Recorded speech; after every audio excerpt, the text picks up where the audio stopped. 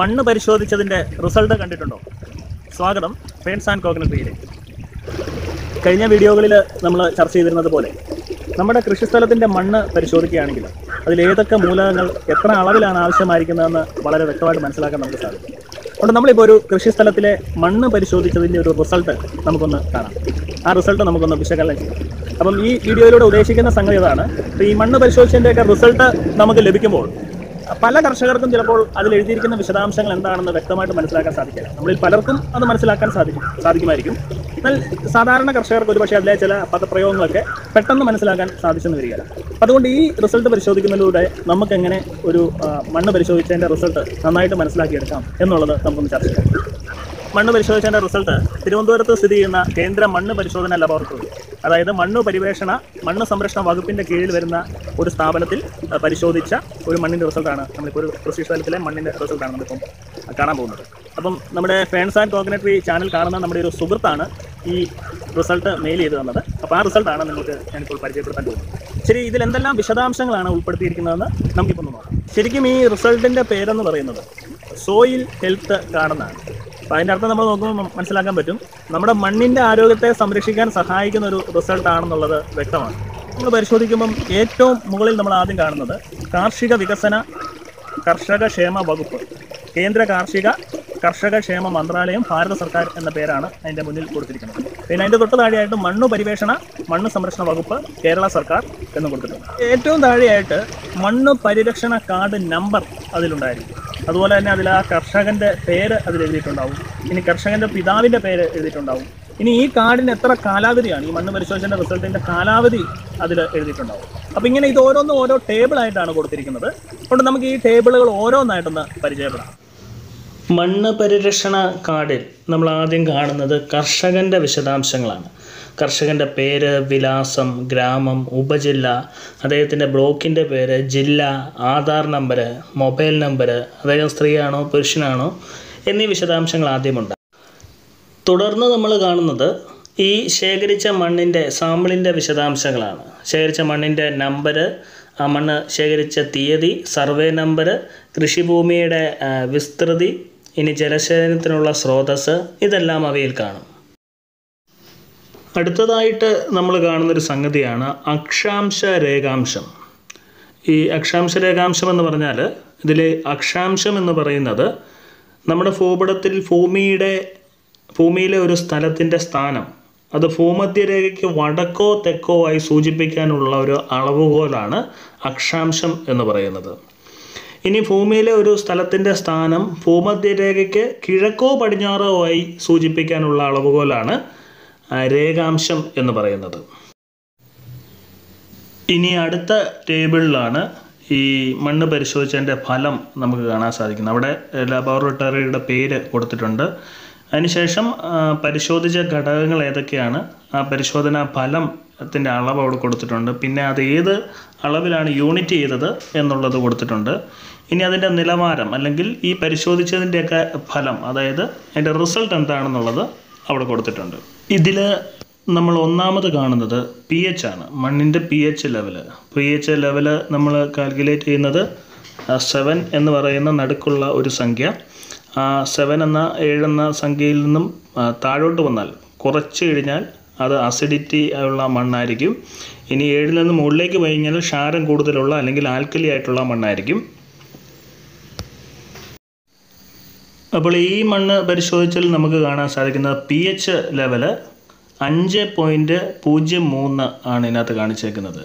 അപ്പോൾ അത് വളരെ അസിഡിക് ആയിട്ടുള്ള മണ്ണാണെന്ന് നമുക്ക് വ്യക്തമാണ്. കാരണം ഏഴിൽ കഴിഞ്ഞും ഏഴിനെ കഴിഞ്ഞും വളരെ താഴെയാണ്. അതുകൊണ്ട് അത് അസിഡിക്കാണ് അതാണ് അവിടെ നിലവാരം എന്ന് എഴുതിയിരിക്കുന്നുണ്ടോ കൂടിയ അമ്ലത. അപ്പോൾ കൂടിയ അമ്ലത ആയതുകൊണ്ട് നമ്മളവിടെ മണ്ണിൽ കുമ്മായം ഇട്ട് കൊടുക്കേണ്ടതുണ്ടെന്ന് നമുക്ക് മനസ്സിലാക്കാൻ സാധിക്കുന്നു. ഇനി നമ്മളവിടെ കാണുന്നത് വൈദ്യുത ചാലകത പോയിന്റ് സീറോ വൺ ഡെസിമെൻസ് മീറ്ററിലാണ് അത് കാൽക്കുലേറ്റ് ചെയ്തിരിക്കുന്നത്. പിന്നെ ഓർഗാനിക് കാർബൺ ഒന്നും തന്നെ അതിനകത്ത് കാണിച്ചിട്ടില്ല. നാലാമതായിട്ട് നമ്മൾ കാണുന്നതാണ് ലഭ്യമായ പാഗ്യജനകം ഈ പാഗ്യജനകം എന്ന് പറയുന്നതാണ് നൈട്രജൻ എന്ന മൂലകം. അപ്പം നമ്മൾ യൂറിയ എന്ന വളം ഇട്ട് കൊടുക്കുമ്പോൾ ലഭിക്കുന്ന നൈട്രജൻ എന്ന മൂലകത്തെയാണ് ഇവിടെ പാഗ്യജനകം എന്ന് വിളിച്ചിരിക്കുന്നത്. നൈറ്റ് യൂറിയ എന്ന വളം അല്ലെങ്കിൽ നമ്മൾ ജൈവവളമാണ് കൊടുക്കുന്നതെങ്കിൽ ചാണകം ഇട്ട് കൊടുക്കുമ്പോൾ ചാണകം ഇട്ട് കൊടുക്കുമ്പോൾ ലഭിക്കുന്ന നൈട്രജനെയാണ് ഇവിടെ പാകിജനകം എന്ന് വിളിച്ചിരിക്കുന്നത്. അപ്പോൾ ഈ പാകിജനകത്തിന്റെ അളവ് ഈ മണ്ണ് പരിശോധിച്ചപ്പോൾ ഇവിടെ ലഭിച്ചത് എത്രയാണ്? ഒന്ന് പോയിന്റ് നാല് രണ്ട് കിലോഗ്രാം പെർ ഹെക്ടറിന് മാത്രമേ ഉള്ളൂ. അപ്പം അതിന്റെ നിലവാരം എത്രയാണെന്ന് നോക്കിയേ? വളരെ കുറവാണ്. അപ്പം നമുക്ക് മനസ്സിലായി ഈ മണ്ണിൽ നൈട്രജൻ വളരെ കുറവാണ്. അതുകൊണ്ട് നൈട്രജൻ ലഭിക്കാൻ ചാണകം അല്ലെങ്കിൽ യൂറിയ എന്ന വളം നമ്മൾ ഇട്ട് കൊടുക്കണമെന്ന് നമുക്ക് മനസ്സിലായി. അടുത്തതായിട്ട് നമ്മൾ കാണുന്നതാണ് ലഭ്യമായ ഫാവകം. ഈ ഫാവകം എന്ന് പറയുന്ന വളമാണ് ഫോസ്ഫറസ് എന്ന് പറയുന്ന മൂലകം. അതായത് നമ്മൾ ജൈവവളമായ എല്ലുപൊടി ഇട്ട് കൊടുക്കുമ്പോൾ ലഭിക്കുന്ന ഫോസ്ഫറസ് എന്ന മൂലകം. അല്ലെങ്കിൽ നമ്മൾ muriate of potash Rajphos rock phos ഇങ്ങനെയുള്ള രാസവളങ്ങൾ ഇടുമ്പോൾ ലഭിക്കുന്ന മൂലകമാണ് ഫാവകം അഥവാ ഫോസ്ഫറസ്. ആ ഫോസ്ഫറസിന്റെ അളവ് നോക്കിയേ പന്ത്രണ്ട് പോയിന്റ് മൂന്ന് രണ്ട് കിലോഗ്രാം പെർ ഹെക്ടറിലെ ആ മണ്ണിലുള്ളൂ. അപ്പോൾ അത് തെളിയിക്കുന്നത് വളരെ കുറവല്ല എന്നാൽ കുറവാണ്. അപ്പം അവിടെ ഫോസ്ഫറസ് നമ്മൾ ഇട്ട് കൊടുക്കേണ്ട ഈ മണ്ണിൽ ഇട്ട് കൊടുക്കേണ്ട ആവശ്യമുണ്ടെന്ന് മനസ്സിലായി. അടുത്തതായിട്ട് കാണുന്നത് ആ, മണ്ണിൽ ലഭ്യമായ പൊട്ടാസ്യത്തിന്റെ അളവാണ്. പൊട്ടാസ്യം ഇരുന്നൂറ്റി എഴുപത്തി അഞ്ച് പോയിന്റ് എട്ട് ആറ് കിലോഗ്രാം പെർ ഹെക്ടറിൽ അതിലുണ്ട്. അപ്പം ഈ ഒരു അളവെന്ന് പറയുന്നത് ഒരുപാട് കൂടുതലല്ല തീരെ കുറവുമല്ല ഒരു ഇടനിലയിൽ നിൽക്കും. മധ്യമം എന്ന് എഴുതിയേക്കുന്നത് അതുകൊണ്ടാണ് അതിന്റെ നിലവാരം. അതുകൊണ്ട് ഒരുപാട് കൂടുതലുമില്ല കുറവുമില്ല. അതുകൊണ്ട് ആവശ്യമായ രീതിയിൽ പൊട്ടാസ്യം ഈ മണ്ണിൽ ആവശ്യമാണെന്നുള്ളത് നമുക്ക് മനസ്സിലായി. അപ്പോൾ ഇത്രയും ഭാഗത്തു നിന്ന് തന്നെ നമുക്ക് മനസ്സിലാക്കാൻ കഴിയുന്ന സംഗതി ഈ മണ്ണിൽ പ്രാഥമിക മൂലകങ്ങൾ പോലും വളരെ കുറവായിട്ടാണ് നിൽക്കുന്നത്. ഇനി തുടർന്നുള്ള വളങ്ങൾ എത്രയാണെന്ന് നമുക്ക് നോക്കാം. അതിൽ സൾഫർ എട്ട് point zero zero P P M ആണ്. പി പി എം എന്ന് പറഞ്ഞു കഴിഞ്ഞാൽ പാർട്സ് പെർ മില്യൺ എന്ന് വെച്ച് കഴിഞ്ഞാൽ ഈ സാധാരണയായിട്ട് വെള്ളത്തിലോ മണ്ണിലോ ഉള്ള എന്തെങ്കിലും ഒരു വസ്തുവിന്റെ സാന്ദ്രത അളക്കുന്ന ഒരു യൂണിറ്റാണത് പി പി എം എന്ന് പറയുന്നത്. അപ്പം സൾഫർ അതിൽ അപര്യാപ്തമെന്നാണ് എഴുതിയേക്കുന്നത്. അപ്പം അത് വളരെ കുറവ് തന്നെയാണെന്നാണ് അതിൽ വ്യക്തമായിട്ട് എഴുതിയേക്കുന്നത്. അടുത്തതായിട്ട് നമ്മൾ കാണുന്നതാണ് ലഭ്യമായ നാഗം. ഈ നാഗം എന്ന് പറയുന്നതാണ് സിങ്ക് എന്ന് പറയുന്ന മൂലകം. സിങ്ക് എന്ന് പറയുന്ന മൂലകത്തിന്റെ മലയാളം നെയിമാണ് നാഗം. അപ്പം നാഗത്തിന്റെ അളവ് നോക്കിയേ. Zero point nine five P P എമ്മേ ഉള്ളൂ. അപ്പം അത് കാണിച്ചേക്കുന്ന പര്യാപ്തം എന്നാണ്. അപ്പോൾ പര്യാപ്തം എന്ന് പറഞ്ഞു കഴിഞ്ഞാൽ ആവശ്യത്തിന് നാഗം സിങ്ക് ആവശ്യത്തിന് ഉണ്ട് എന്ന് തന്നെയാണ് ആ അളവ് കാണിച്ചേക്കുന്നത്. അപ്പം അപ്പം അത് ഇട്ട് കൊടുക്കേണ്ട ആവശ്യമില്ലെന്നുള്ളതാണ് തെളിയിക്കുന്നത്. അടുത്തതായിട്ട് കണ്ടോ ലഭ്യമായ ബോറോൺ. അത് zero point zero two P P M ആണ്. അപ്പം അത് അപര്യാപ്തമെന്ന് എഴുതിയേക്കുന്നത്. അപ്പം ബോറോണ് ഈ മണ്ണിൽ ആവശ്യമുണ്ടെന്നുള്ളത് നമുക്ക് മനസ്സിലായി. അടുത്തതായിട്ട് എഴുതിയേക്കുന്നത് ലഭ്യമായ ഇരുമ്പിന്റെ അളവാണ്. അത് നൂറ്റി രണ്ട് പോയിന്റ് ഒമ്പത് രണ്ട് പി പി എം ഉണ്ട്. അപ്പം അത് പര്യാപ്തമാണ് എന്ന് വെച്ചാൽ ആവശ്യത്തിനുണ്ടെന്നാണ്. പിന്നെ അടുത്തത് കാണിച്ചേക്കുന്ന ലഭ്യമായ മാംഗനീസിന്റെ അളവാണ്. മാംഗനീസ് പന്ത്രണ്ട് പോയിന്റ് നാല് അഞ്ച് പി പി എം ഉണ്ട്. അതും പര്യാപ്തമാണ് എന്ന് പറഞ്ഞാൽ ആവശ്യത്തിനുണ്ട്. ഇനി ലഭ്യമായ ചെമ്പ് അതായത് കോപ്പർ അത് one point three eight P P M ഉണ്ട്. അതും പര്യാപ്തമാണെന്ന് തന്നെയാണ്. അപ്പോൾ ആവശ്യത്തിന് ഉണ്ടെന്നുള്ളതാണ് അത് കാണിച്ചിരിക്കുന്നത്. അപ്പോൾ ഇത്രയാണ് മണ്ണ് പരിശോധിച്ച് കഴിയുമ്പോൾ നമുക്ക് ലഭിക്കുന്ന റിസൾട്ട്. അപ്പോൾ ഇതിൽ മറ്റു പല മൂലകങ്ങൾ ഉണ്ടോ എന്നുള്ളതും അവർ സാധാരണ ഗതിയിൽ പരിശോധിക്കും. അപ്പോൾ ആവശ്യമായത് മാത്രം പരിശോധിച്ചിരിക്കുന്നതിന്റെ അളവാണ് ആ, റിസൾട്ടാണ് നമ്മളിപ്പോൾ ഇതിനകത്ത് കണ്ടത്. ശരി അങ്ങനെയെങ്കിൽ ഈ റിസൾട്ടിന്റെ അടിസ്ഥാനത്തിലുള്ള വളത്തിന്റെ ശുപാർശകൾ അതിന്റെ റെക്കമെൻഡേഷൻ എത്രത്തോളമാണ് അവർ തന്നേക്കുന്നതെന്ന് നമുക്ക് നോക്കാം. ആ ടേബിളിലേക്ക് നമുക്ക് പോകാം വളപ്രയോഗത്തിന്റെ ശുപാർശകളിൽ പ്രധാനമായിട്ട് ഉൾപ്പെടുന്ന സംഗതികൾ വിളയുടെ ഇനം അല്ലെങ്കിൽ ഏത് വിളയ്ക്ക് നൽകേണ്ട വളമാണെന്നുള്ളതിനെക്കുറിച്ചുള്ള വിശദാംശങ്ങളാണ് സൂചിത വിളവ്. ഇനി ജൈവ വളത്തിന്റെ ജൈവവളം നൽകുന്ന നൽകാൻ ശുപാർശ ചെയ്തിട്ടുണ്ടെങ്കിൽ അതിന്റെ അളവ് ജീവാണു വളങ്ങളുടെ അളവ്. ഇനി അതിനുശേഷം രാസവളങ്ങൾ രണ്ട് തരത്തിലാണ് ഇവിടെ റെക്കമെൻഡ് ചെയ്തിരിക്കുന്നത്. വളങ്ങളുടെ ശുപാർശ ഒന്ന് എന്ന തരത്തിൽ തിരിച്ചിട്ടുണ്ട്. അതുപോലെ തന്നെ വളങ്ങളുടെ ശുപാർശ രണ്ട് എന്ന തരത്തിലും തിരിച്ചിട്ടുണ്ട്.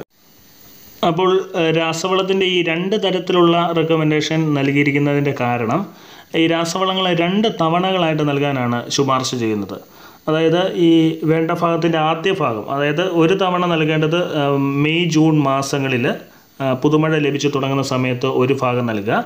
ബാക്കിയുള്ള വളം ബാക്കിയുള്ള രാസവളം രണ്ടാമതായിട്ട് റെക്കമെൻഡ് ചെയ്തേക്കുന്നത് സെപ്റ്റംബർ ഒക്ടോബർ മാസങ്ങളിൽ ആ ഒരു സമയത്ത് റെക്കമെൻഡ് ചെയ്യുക. അതായത് വളം ഇടാനായിട്ടായിരിക്കാം. ഇങ്ങനെ രണ്ടായിട്ടുള്ളൊരു കണക്ക് നൽകിയിരിക്കുന്നത്. ഇനി കൊടുത്തിരിക്കുന്ന മൂലകങ്ങളുടെ അളവ് അത് ഗ്രാമിലാണ് നമ്മൾ കാൽക്കുലേറ്റ് ചെയ്യേണ്ടത്. ഗ്രാമിൽ ഒരു ഒരു മരത്തിന് എന്ന കണക്കിലാണ് ഇവിടെ കൊടുത്തിരിക്കുന്നത്. അപ്പോൾ ആദ്യത്തെ തവണ കൊടുക്കേണ്ട വളങ്ങളുടെ അളവ് ഇതാണ് യൂറിയ. അതായത് പ്രാഥമിക വളങ്ങളാണ് ഇവിടെ ഉദ്ദേശിക്കുന്നത്. യൂറിയ ആയിരത്തി ഇരുന്നൂറ്റി മുപ്പത്തിയഞ്ച് ഗ്രാമാണ് ഒരു മരത്തിന് കൊടുക്കേണ്ടത്. ഇനി അസംസ്കൃത എല്ലുപൊടി അല്ലെങ്കിൽ ഫോസ്ഫറസ് ആയിരത്തി ഒരുന്നൂറ്റി മുപ്പത് ഗ്രാം കൊടുക്കാൻ പറയുന്നു. ഇനി മ്യൂറിട്ടോ പൊട്ടാഷ് ആയിരത്തി ഒരുന്നൂറ്റി മുപ്പത്തി മൂന്ന് ഗ്രാം നൽകാനാണ് ഇവിടെ ആദ്യത്തെ വളപ്രയോഗ ശുപാർശയിൽ ഉൾപ്പെടുത്തിയിരിക്കുന്ന വിവരം. ഇനി രണ്ടാമത്തെ വളപ്രയോഗ ശുപാർശയിൽ എഴുതിയിരിക്കുന്നത് യൂറിയ അമോണിയം ഫോസ്ഫേറ്റ്. ഇത് മൂന്നും ആയിരത്തി ഒരുന്നൂറ്റി മുപ്പത് ഗ്രാം നൽകാനാണ് ഇവിടെ പറഞ്ഞിരിക്കുന്നത്. ഇരുപത് ഇഷ്ടു ഇരുപത് ഇഷ്ടു സീറോ എന്ന ഒരു അനുപാതത്തിൽ നൽകാനാണ് ഇവിടെ ശുപാർശ ചെയ്തിരിക്കുന്നത്. ഇനി വേപ്പ് പൊതിഞ്ഞ യൂറിയ എഴുന്നൂറ്റി നാൽപ്പത്തി മൂന്ന് ഗ്രാം ഒരു മരത്തിന് നൽകാനാണ് ഇവിടെ ശുപാർശ ചെയ്യുന്നത്. ഇനി അടുത്തായിട്ട് യു മ്യൂറിറ്റോ പൊട്ടാഷ് ആയിരത്തി ഒരുന്നൂറ്റി മുപ്പത്തി മൂന്ന് ഗ്രാം ശുപാർശ ചെയ്യുന്നു ഒരു മരത്തിന് എന്ന കണക്കിൽ അപ്പോൾ മണ്ണ് പരിശോധനയുടെ അടിസ്ഥാനത്തിൽ നൽകേണ്ട പ്രാഥമിക മൂലകങ്ങളുടെ അളവാണ്. ഈ മണ്ണിൽ നൽകേണ്ട അളവാണ് നമ്മളിപ്പം ശ്രദ്ധിച്ചത്. അവസാനത്തെ ടേബിളിൽ നമ്മൾ കാണുന്നത് ദ്വിതീയ സൂക്ഷ്മ മൂലകങ്ങളുടെ വളപ്രയോഗ ശുപാർശകളാണ്. അതായത് സെക്കൻഡറി എലമെൻസിന്റെയും മൈക്രോ ന്യൂട്രിയൻസിന്റെയും ശുപാർശകളാണ് ഇവിടെ കൊടുത്തിരിക്കുന്നത്. ഇവിടെ സൾഫറിന്റെയും ബോറോണിന്റെയും പരിശോധനയാണ് നടന്നിരിക്കുക ഉപയോഗിച്ചിരിക്കുന്നത്. ചെയ്തിരിക്കുന്നത്. അപ്പോൾ അതുകൊണ്ട് അതിന്റെ അളവ് ഇവിടെ കൊടുത്തിട്ടുണ്ട്. ഇവിടെ സൾഫറും ബോറോണും മണ്ണിൽ കൂടെ നൽകേണ്ട വളപ്രയോഗ റെക്കമെൻഡേഷൻസ് ശുപാർശ നമുക്ക് കാണാൻ സാധിക്കും. അതുപോലെ തന്നെ സ്പ്രേ ചെയ്യുന്നത് വഴി സ്പ്രേ ചെയ്തുകൊണ്ട് ബോറോൺ നൽകേണ്ടതിന്റെ ഒരു ശുപാർശയും നമുക്കിവിടെ കാണാം. ഇവിടെ സൾഫർ നൽകിയിരിക്കുന്നത് ഇരുപത് മുതൽ നാൽപ്പത് കിലോഗ്രാം വരെ ഒരു ഹെക്ടറിൽ നൽകാനാണ് പറഞ്ഞിരിക്കുന്നത്. അതോടൊപ്പം തന്നെ ജിപ്സം നൂറ്റി നാൽപ്പത് മുതൽ ഇരുന്നൂറ്റി എൺപത് വരെ കിലോ പെർ ഹെക്ടറിൽ നൽകാനാണ് മണ്ണിൽ കൂടെ നൽകാനാണ് ഇവിടെ ശുപാർശ ചെയ്തിരിക്കുന്നത്. അതുപോലെ ബോറോൺ അഞ്ച് മുതൽ പത്ത് വരെ കിലോഗ്രാം പെർ ഹെക്ടറാണ് കണക്ക് കൂട്ടി ഇനി ഇവിടെ എല്ലാം പൊതുവായിട്ടൊരു ശുപാർശ കൊടുത്തിരിക്കുന്നത് കക്ക നൽകാനാണ്. അതായത് കുമ്മായം നമ്മുടെ വിളകൾക്കും മണ്ണിലും ലഭിക്കാനായിട്ട്. Application of ലൈമറ്റ് three two four Q per hectare കൊടുക്കാനാണ് ഇതിനകത്ത് ശുപാർശ ചെയ്തിരിക്കുന്നത്. അപ്പം കക്ക എല്ലാത്തിലും പൊതുവായിട്ട് വരുന്ന ഒരു ഇതാണ്. അതായത് ദ്വിതീയ വളങ്ങളും സൂക്ഷ്മ മൂലകങ്ങൾക്കാണെങ്കിലും ശരി മറ്റ് പ്രാഥമിക മൂലകങ്ങൾക്കാണെങ്കിലും ശരി അതെല്ലാം ഇടുന്നതിന് മുമ്പ് ഈ കക്ക അല്ലെങ്കിൽ കുമ്മായ നമ്മൾ ഇടേണ്ടതിന്റെ ആവശ്യകതയാണ് ഇവിടെ പറഞ്ഞിരിക്കുന്നത്. അപ്പോൾ ഇന്ന് നമ്മൾ ഫ്രണ്ട്സ് ആൻഡ് കോക്കനട്ട് കോക്കനട്രിയിൽ പരിചയപ്പെട്ടത് ഒരു കൃഷി സ്ഥലത്തിലെ മണ്ണ് ടെസ്റ്റ് ചെയ്തതിന്റെ റിസൾട്ട് ആണ് നമ്മൾ ഇന്ന് വിശകലനം ചെയ്യുന്നത്. നിങ്ങൾക്കത് നന്നായി മനസ്സിലായി എന്ന് ഞാൻ പ്രതീക്ഷിക്കുന്നു. എന്തെങ്കിലും സംശയങ്ങളുണ്ടെങ്കിൽ നിങ്ങൾക്ക് കമന്റ് ബോക്സിൽ അത് ചോദിക്കാൻ സാധിക്കും. ഇനി നിങ്ങൾക്ക് എന്തെങ്കിലും നിർദ്ദേശങ്ങൾ അതിനെ സംബന്ധിച്ച് ഈ മണ്ണ് ടെസ്റ്റ് ചെയ്യുന്നതിനെക്കുറിച്ച് നിങ്ങൾക്ക് മുൻ പരിചയം ഉണ്ടെങ്കിൽ അതും നിങ്ങൾ കമന്റ് ബോക്സിലൂടെ നൽകാനായിട്ട് പ്രതീക്ഷിക്കുന്നു. അപ്പോൾ നമ്മുടെ പല ജില്ലകളിലും ഈ മണ്ണ് പരിശീലിക്കുന്നതിനോട് ബന്ധപ്പെട്ടുള്ള സ്ഥാപനങ്ങളുണ്ട്. അതിന്റെ ഏതാനും കോൺടാക്ട് നമ്പറുകളും അതുപോലെ തന്നെ അഡ്രസ്സുകളും ഞാൻ കമന്റ് ബോക്സിൽ നിങ്ങളായിട്ട് ഷെയർ ചെയ്യുന്നതായിരിക്കും. അത് നിങ്ങൾക്ക് നോക്കാൻ സാധിക്കും. മഴ പെയ്യാൻ തുടങ്ങി. ഓക്കെ അപ്പോൾ ഈ വീഡിയോ നിങ്ങൾക്ക് ഇഷ്ടപ്പെട്ടെങ്കിൽ ദയവായി ലൈക്ക് ചെയ്യണം ഷെയർ ചെയ്യണം സബ്സ്ക്രൈബ് ചെയ്യണം. നിങ്ങളുടെ വിലപ്പെട്ട കമന്റുകൾ നൽകാൻ ഒരിക്കലും മറക്കരുത്. അപ്പോൾ അടുത്ത എപ്പിസോഡിൽ നമുക്ക് മറ്റൊരു വീഡിയോ ആയിട്ട് കാണാം. അതുകൊണ്ട് മഴ വരുന്നതുകൊണ്ട് ഞാൻ പെട്ടെന്ന് പോവാണ്. Bye bye